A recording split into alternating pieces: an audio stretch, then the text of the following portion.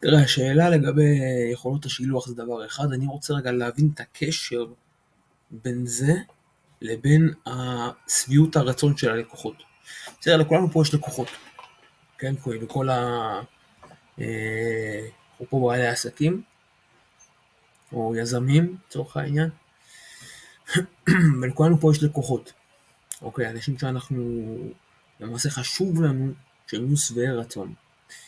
ויש פה רגע איזשהו שיעור להבין, אם אנחנו רגע רוצים לענות על השאלה, אז קודם כל הבאנו פה את הנתונים של אה, e-commerce DB, אה, אנחנו מביאים פה את הנתונים הכי מהימנים, הכי אה, מעודכנים, זה לגבי הנתון הזה שהבאתם, כי באמת היו פה כמה דיונים, אז אנחנו באמת שמים את זה עכשיו בפרונט, אז שימו לב, בתקופה שבין הרבעון הראשון, כמו שניתן לראות בגרף כמובן, זה לא סתם ככה ליופי נמצא פה, ואנחנו עוד שנייה גם נסביר את זה.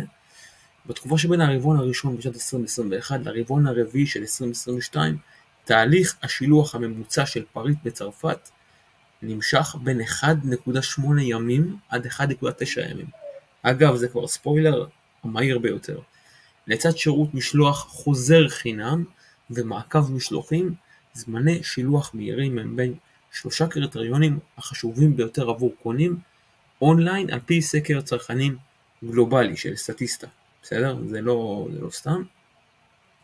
זאת אומרת, זה אחד משלושת המדדים הכי הכי חשובים לשביעות רצון. זה כמה זמן, אוקיי, כמה זמן. אם הם צריכים לבחור שלושה, זה באמת, זה אחד מהם.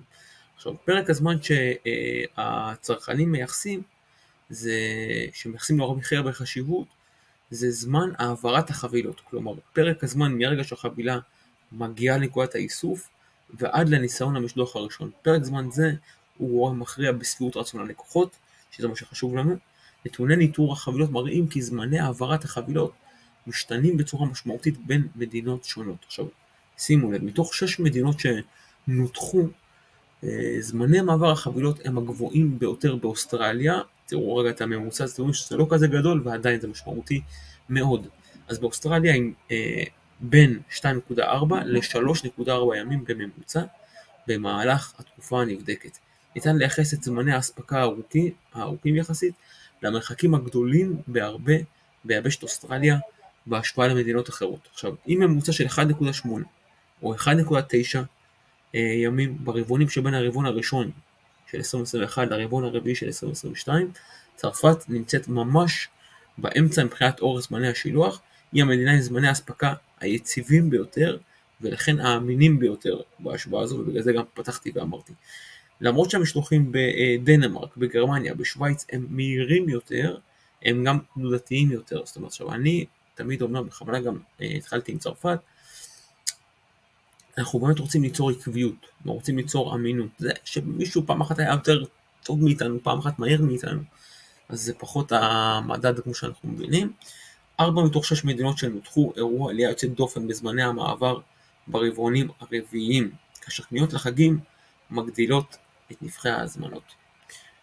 כל הדבר, כל הדבר הזה פה זה שיעור, באמת באמת זה שיעור, כל מה שאנחנו רואים פה, אה, אנחנו חייבים, חייבים באמת בפן הזה שהלקוחות יהיו שבעי רצון.